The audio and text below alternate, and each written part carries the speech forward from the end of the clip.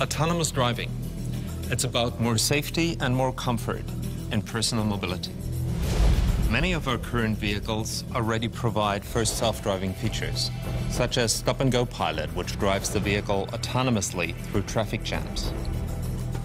It may take a few more years before our cars can drive fully autonomously on all roads and at all speeds.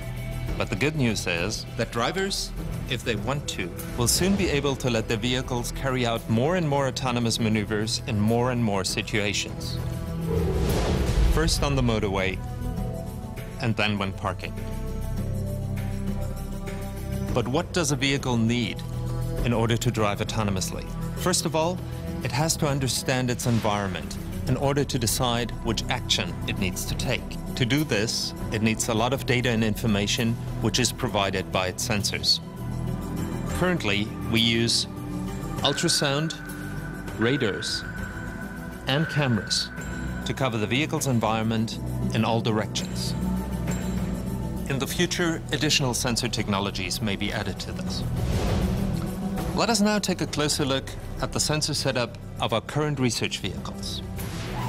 From the standard vehicle, we took the stereo camera, which accurately measures objects in front, such as stationary obstacles, other vehicles, or pedestrians, up to a distance of about 50 meters. It also determines the course of the lane.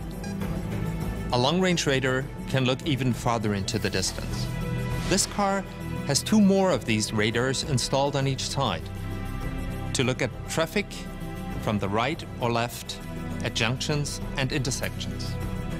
There are also four short-range radars which check the immediate vehicle surroundings, which is useful at roundabouts and to safely pass cyclists. One camera looks to the front and checks traffic lights. Another one covers the back and helps us to improve localizing the vehicle together with the GPS system. The vehicle is assisted by digital maps, which are more precise and more detailed than the conventional navigation maps we are used to. They contain, for example, the position of stop lines or traffic lights, advanced information which is later validated with the onboard sensor system. In our cars, an intelligent drive controller analyzes and assesses data in real time and determines which driving maneuver best fits the situation.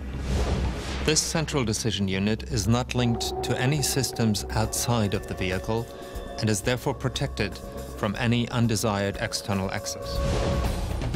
We learned a lot in retracing the original long-distance drive by Bertha Benz some 125 years ago with the self-driving car. And we discovered how we can transfer our systems from cars to trucks.